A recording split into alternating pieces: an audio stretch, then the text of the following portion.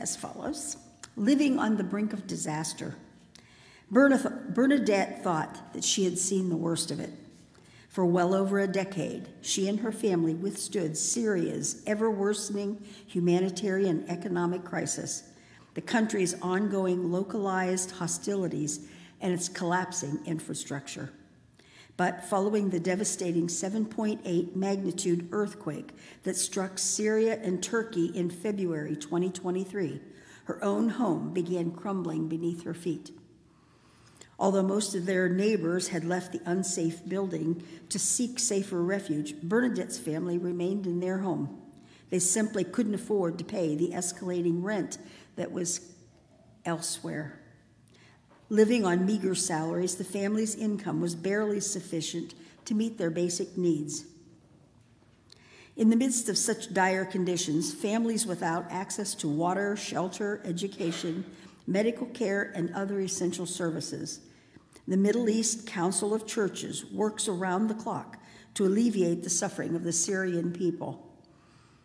The humanitarian mission of the Middle East Council of Churches is made possible in part through a grant from Presbyterian Disaster Assistance, which is in turn supported by our gifts to One Great Hour of Sharing. Whenever people are unable to secure basic needs, some families adopt negative coping mechanisms such as reducing meals, resorting to child labor, or as a last result, leaving Syria. What we do in cooperation with our neighbors is continually seeking to support people, said Samer Laham. We have aided families like Bernadette's, whose, whose homes were damaged by the earthquake in Aleppo, working to ensure that they live in a stable building where their children can sleep safely. Bernadette is grateful that her building could be stabilized and her apartment rehabilitated. We offer our thanks to all who have given so generously, she said. Our prayers likewise go out to all who stand by us and receive the offering to ease our economic burdens and encourage us to stay in our country and continue witnessing to our Christian faith. Samer laments that whenever there's a disaster, people are moved very quickly to donate. But once the immediate crisis is over, not the same money will come in. You cannot imagine people in such destitute circumstances, he said. Here we can see the suffering and the very critical conditions that many families are facing today. This is why we want to be a sign of hope to many people through one great hour of sharing. In the end, we are working as one team, as one people, to bring hope to affected people. This is part of our faith. Let us pray. God of mercy and compassion, we remember all those around the world who face dire living circumstances every day. Be with them and allow our gifts to strengthen and support them in all ways so that they might live in safety and security. We pray in Jesus' name. Amen. And the offering will be received next Sunday. Uh, you have envelopes today. Uh, there will be envelopes out there, and should someone, um, we will still accept them after that as well.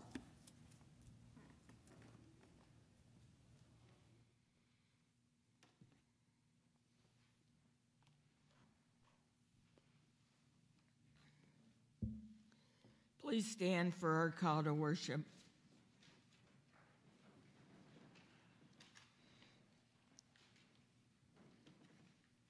This is the day God has promised, the day of the new covenant. We come for the grace and hope God provides. No longer carved on cold stone, this covenant is engraved in our hearts. Our hearts are open so God's word can shape us. The time for faithfulness has come. Let us worship and praise our God. Let us bow for our prayer for the day. Holy One, in your love and wisdom, you seek continually to draw us closer, knowing that only in intimate relationship with you can our souls be fulfilled. Give us steadfast faith to believe in your presence and your power as we walk through the wilderness of our lives. Give us courage to open the depths of ourselves to you, trusting that you are waiting and longing to transform us, even in the most difficult and painful experiences of life. Amen.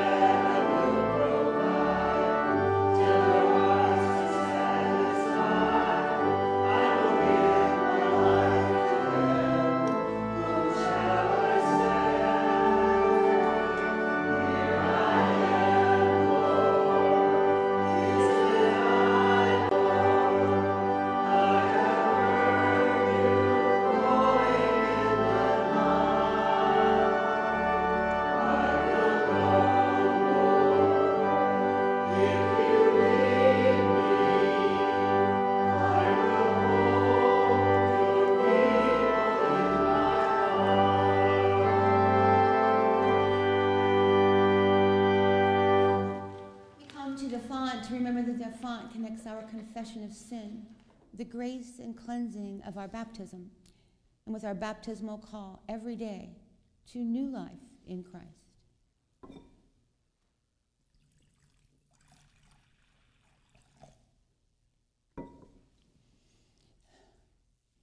If we would see Jesus, we must open our eyes to the ways we have not followed him as disciples. If we want God to create new hearts within us, we must speak of the old ways in which we continue to live. If we seek God's mercy, we must confess all that keeps us from living as God's children. Let us come to the one who will forgive us. Gracious God, we confess we are tempted to lose faith and even blame you when trouble assails us. We confess that in anger, fear, or despair, we may resist what you wait patiently to do for us.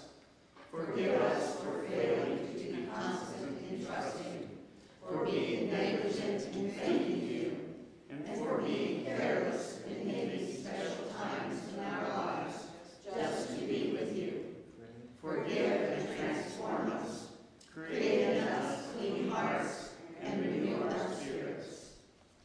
Let us take this time of silence for personal reflection and confession.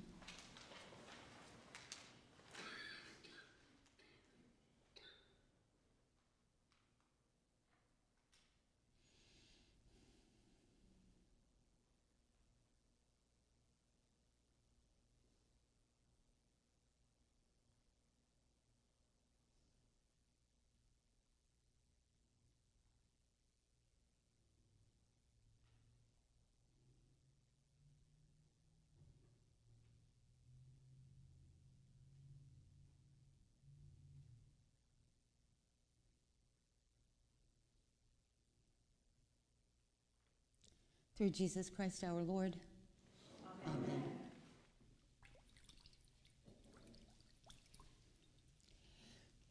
a new heart, a generous spirit, a fresh start. These are the gifts our God gives to us. Through Christ we are cleansed. Through Christ we are healed. Through Christ we become new people. In Christ we are forgiven. Thanks be to God. As God has forgiven us in Christ, let us forgive one another. The peace of our Lord Jesus Christ be with you all. And also with you. Please turn to one another with words and gestures of peace and reconciliation. For those of you at home, the peace of Christ be with you.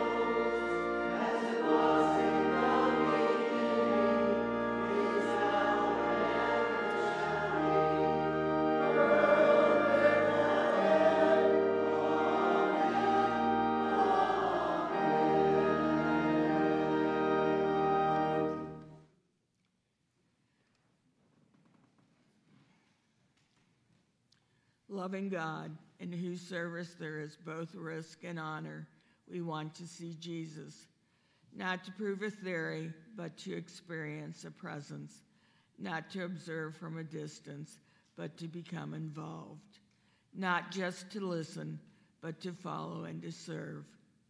Send your spirit to illumine us in your word today. We pray in Jesus' name. Our testament reading today is from the book of Jeremiah.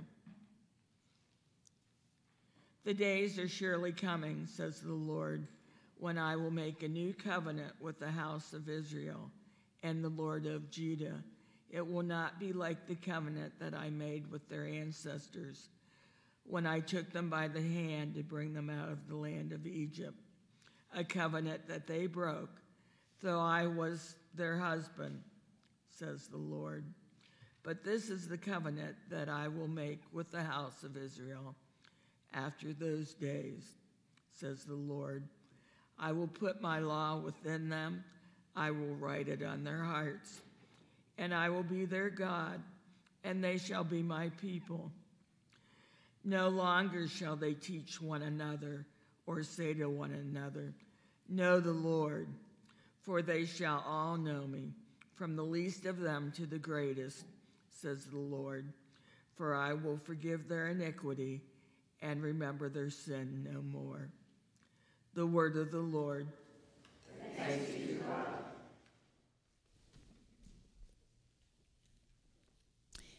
Please join with me in a responsive reading of part of Psalm 51, which is written in your bulletin. Have mercy on me, O God, according to your steadfast love. According to your abundant mercy, blot out my transgressions. Wash me thoroughly from my iniquity, and cleanse me from my sin. For I know my transgressions, and my sin is ever before me. Against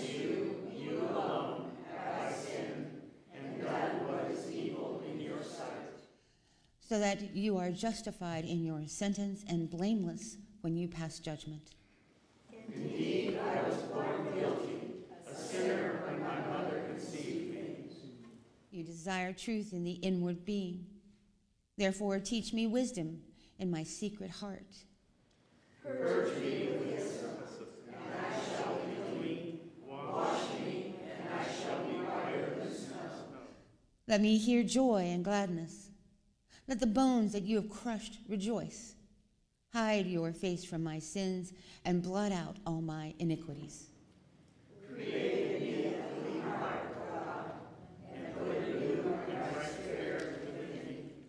Do not cast me away from your presence, and do not take your Holy Spirit from me.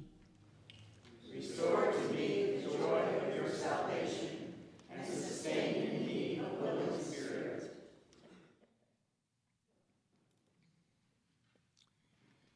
Our epistle reading today is from Hebrews chapter 5, verses 5 through 10. And also, Christ did not glorify himself in becoming a high priest, but was appointed by the one who said to him, You are my son. Today I have begotten you. As he says also in another place, You are a priest forever according to the order of Melchizedek.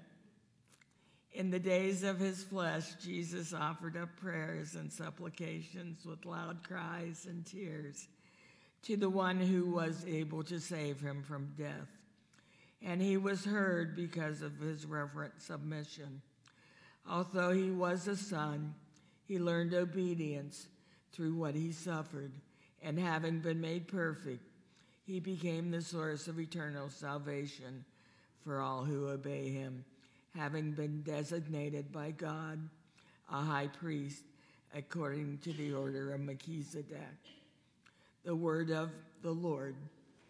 Thanks be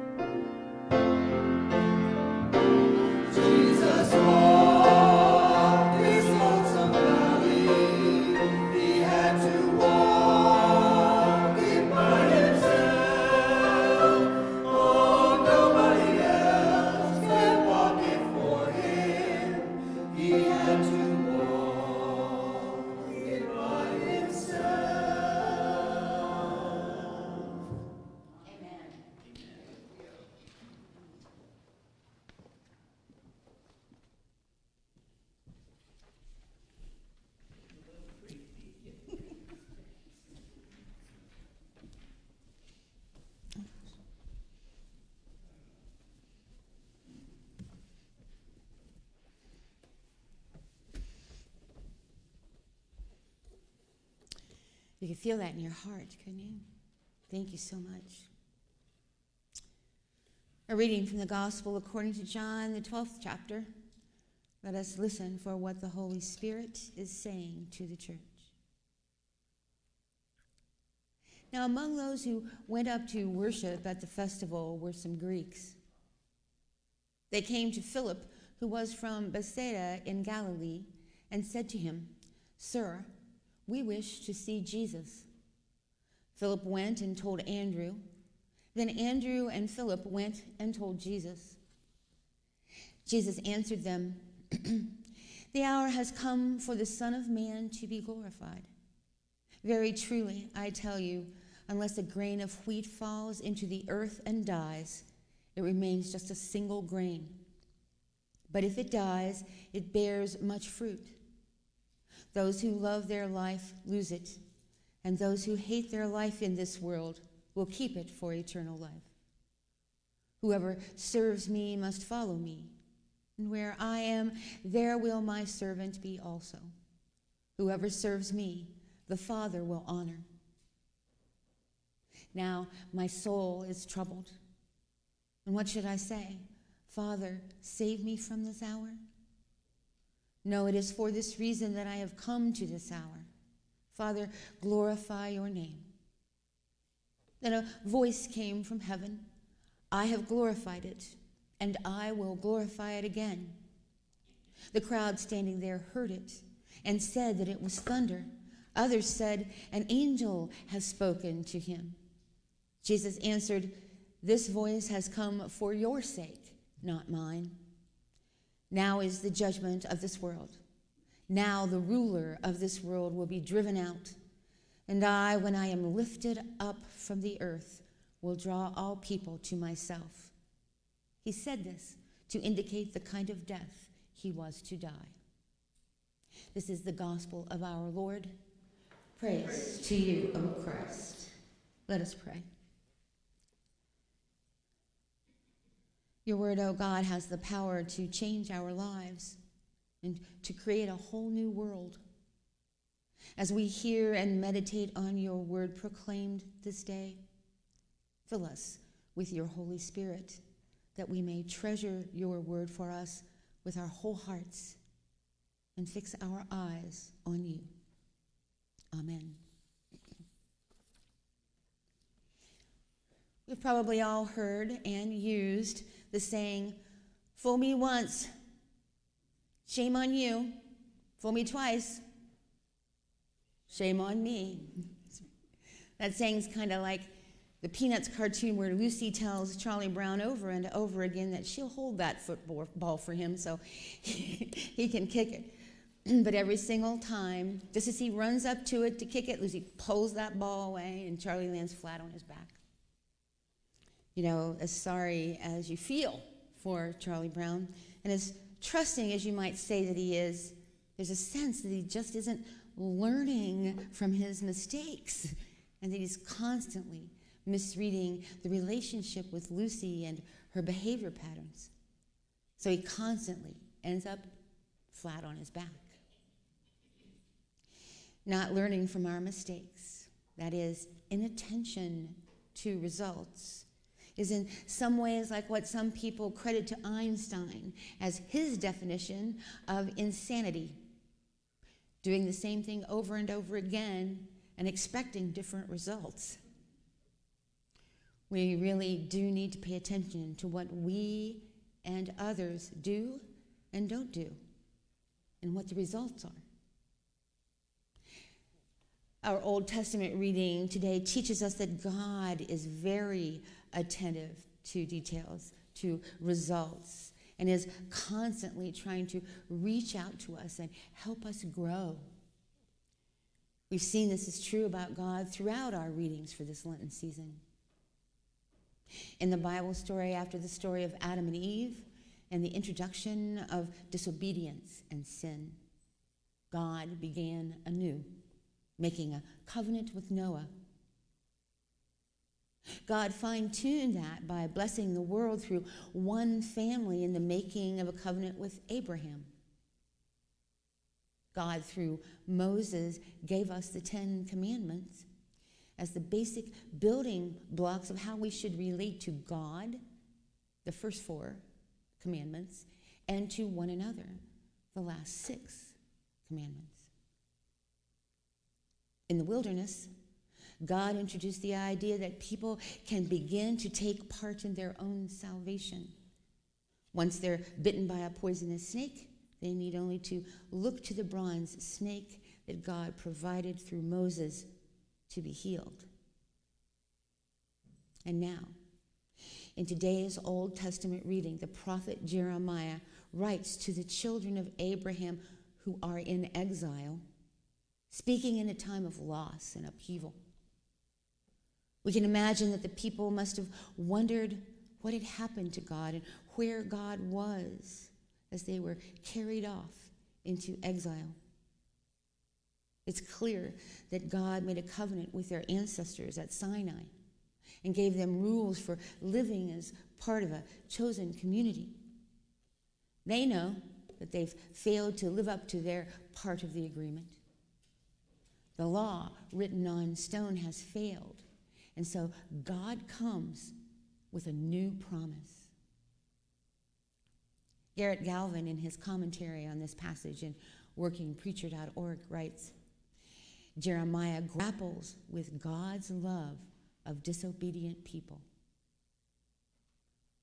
The prophet's announcement of God's word proclaims a new season in God's relationship with God's people. They've advanced from the law on stone tablets to a law that's lived in each person. God had previously gifted Israel with the grace of the law. And as precious as it was, it was always something external to God's people. Now, in this reading, we see renewal and restoration, as the law will no longer remain external, but will be written on the hearts of God's people. It will be completely internalized. They'll learn to love God and each other and God will forget all the mistakes they made that brought them to the place and time of captivity and exile. God will create in them a clean heart and put God's Spirit within them and deliver them. Not only that, verse 34 confirms the radicalism of this as God now seems equally present to all Israelites, from greatest to least. No longer shall they teach one another or say to each other, Know the Lord, for they shall all know me, from the least of them to the greatest, says the Lord. For I will forgive their iniquity and remember their sin no more. As important as priest, prophet, and king are to Israel, God's people can survive without the institutions of Jerusalem in Babylon. God's covenant now belongs in the heart. God would be justified in forgetting the people of Israel and beginning again with some other more faithful people but God moves in the opposite direction. Instead of forgetting the people after their faithlessness, God makes a new covenant with them. God would so affect human hearts that people could and would keep the requirements of the covenant. This is what St. St. Augustine called cooperating grace the aspect of God's grace that allows us to work with God to do what God would have us do. This new covenant was fully manifested in the obedient love of the man Jesus. As the Greeks came looking for Jesus in our Gospel of John reading today, Jesus knew that his time on earth was drawing to a close. He'd come to preach to Israel the children of Abraham, the followers of Moses, about this covenant. it was his disciples who would take this message of love to the Greeks, the Gentiles, as well. The Christian faith has deep roots in the covenants with Israel. God is still the God of Israel as well as the God of the Christian church. God has indeed done a new thing in Jesus. But the new means a great deal more when we recognize that it rests on the old. What matters most is God's power of renewal. God doesn't abandon Israel and doesn't abandon us.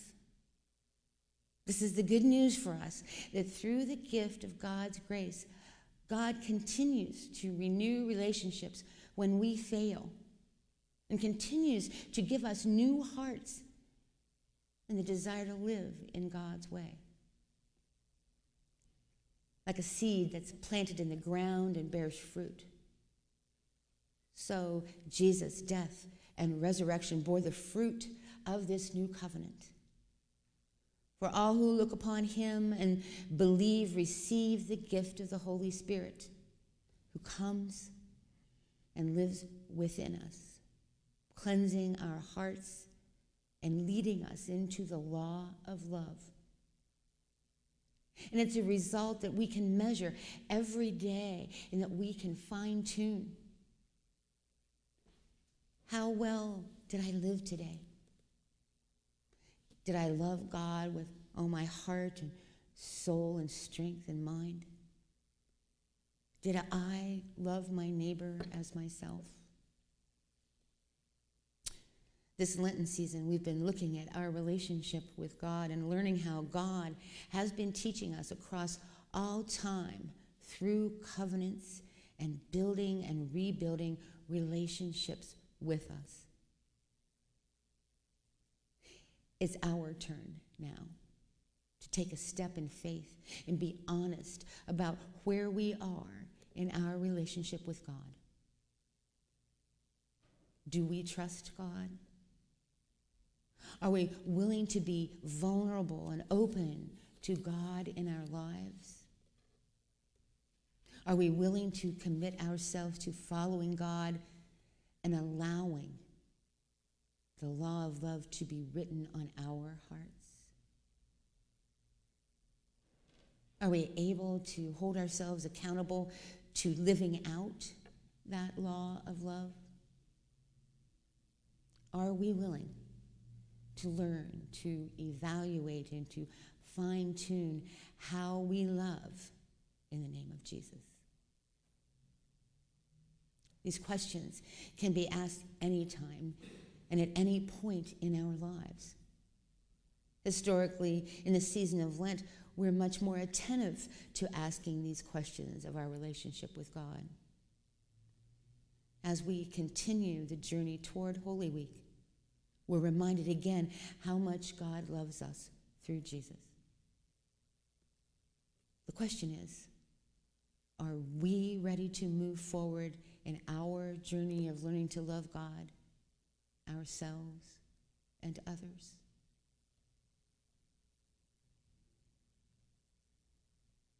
Let us pray. Gracious and loving God, we thank you for your attention to the details of our lives and of the ways you constantly try to teach us and help us to grow. Help us in our dysfunctions to still find you. Help us to trust you, to be willing to bring the good, the bad, and the ugly of our lives to you. Help us to be willing to be honest with you about what we're feeling and thinking and to be willing to commit to following you with our whole lives, no matter where you lead us. Help us to take the bold step of beginning to hold ourselves accountable to live out the law of love which you have put in our hearts and to constantly evaluate how we're doing and how we need to change. Help us to hear your voice, follow, and love during this Lenten season and always. Amen.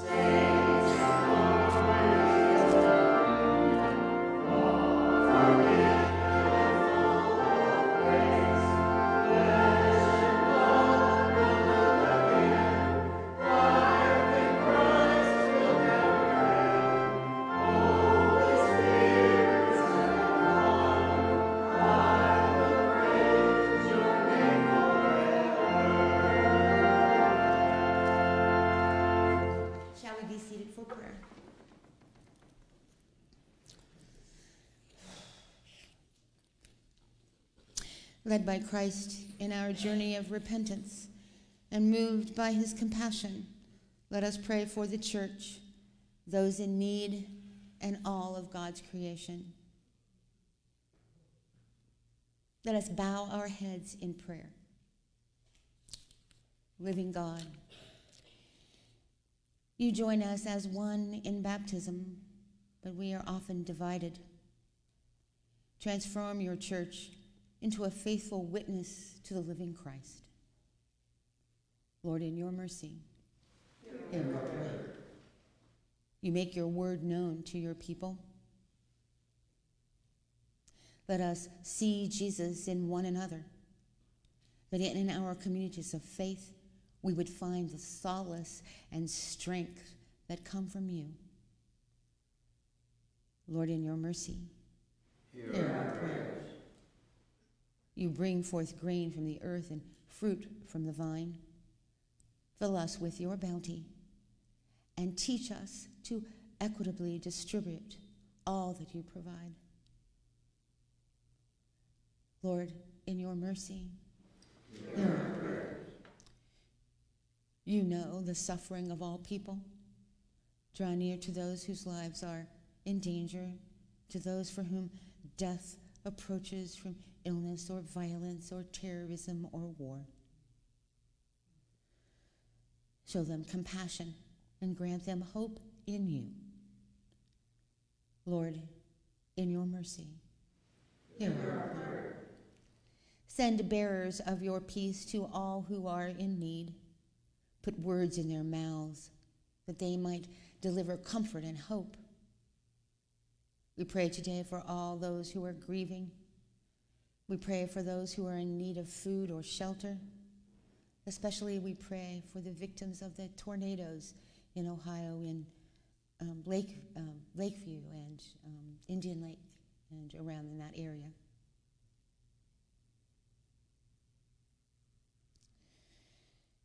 We pray for those who are suffering from addiction,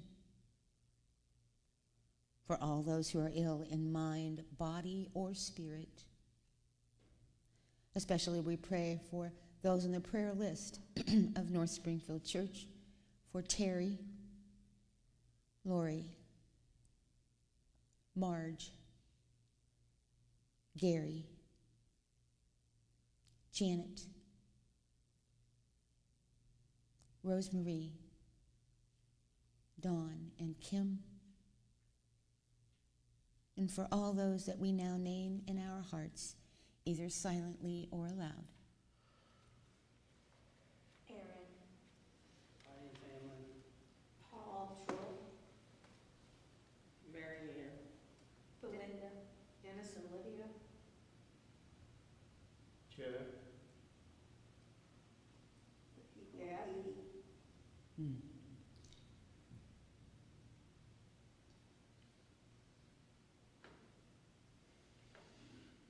Lord, in your mercy, hear our prayer.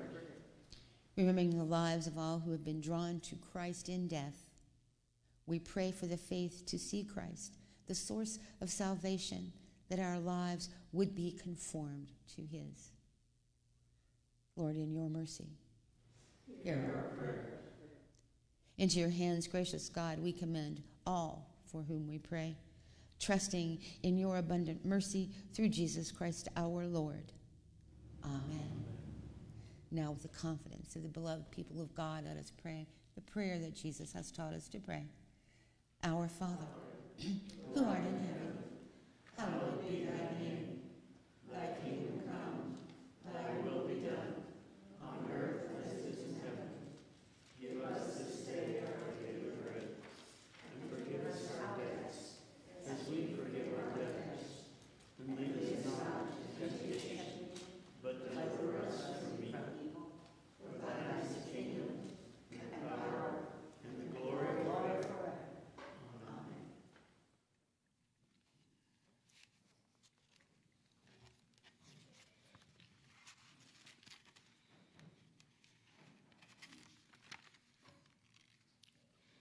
unless the grain of wheat falls to the ground and takes on a new life, it remains just a single grain. With grateful hearts, let us bring the fruit of our lives to God.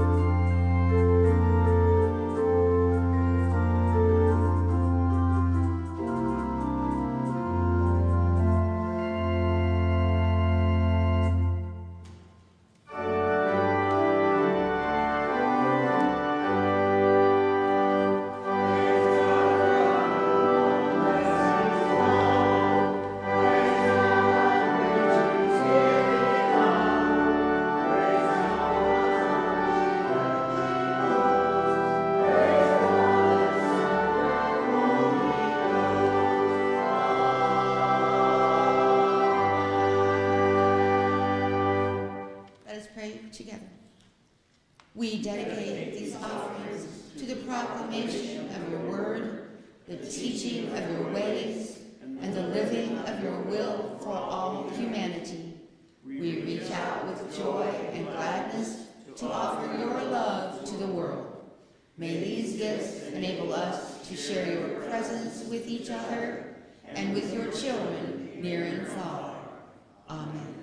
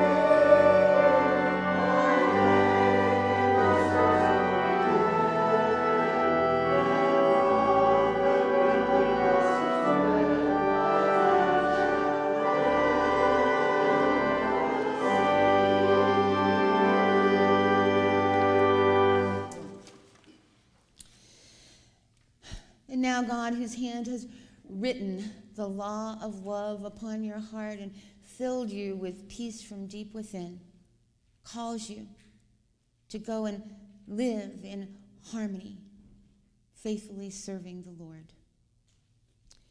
May the grace of our Lord Jesus Christ, the love of God, and the unity of the Holy Spirit be with you this day and every day, your whole life long. And the people of God say, Amen. Amen.